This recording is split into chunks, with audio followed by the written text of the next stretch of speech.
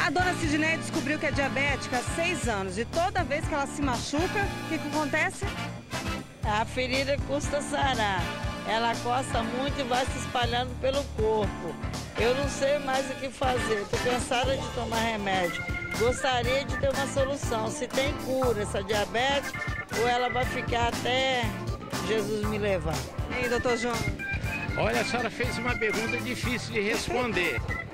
A primeira coisa, apesar do seu imenso amor por Jesus, espero que demore um pouco de te levar.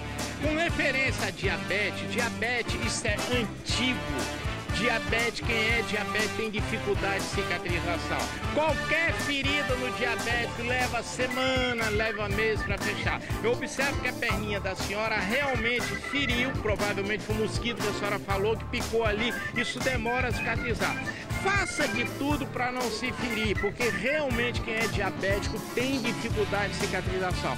Mesmo o seu açúcar tendo normal, o diabético ele tem uma certa dificuldade de circulação sanguínea. Essa circulação sanguínea no local da ferida é interferida, então o ferimento ele demora para cicatrizar. Apesar da diabetes não ter cura, é a notícia ruim. A notícia boa é que ela tem controle. A senhora toma os remedinhos direitinho, metformina, glibenclamida, glimepirida, toma a insulina, a senhora vive maravilhosamente bem, apesar de não curar da diabetes. Não Ou seja, fazer muito. É, porque se cortar demora a cicatrizar. Aí que é a questão do pezinho também. Mas em compensação, se a senhora não tomar esses medicamentos e o açúcar subir, a senhora corre um risco pior: infarto e derrame. Então, mantenha esse açúcar, essa glicose em níveis bons, que a senhora vive tranquilamente até o dia que o homem lá em cima não chamar. Não tem cura. Não tem cura. Diabetes não tem cura. Beijo Deus pra senhora. Amém. Tudo de bom pra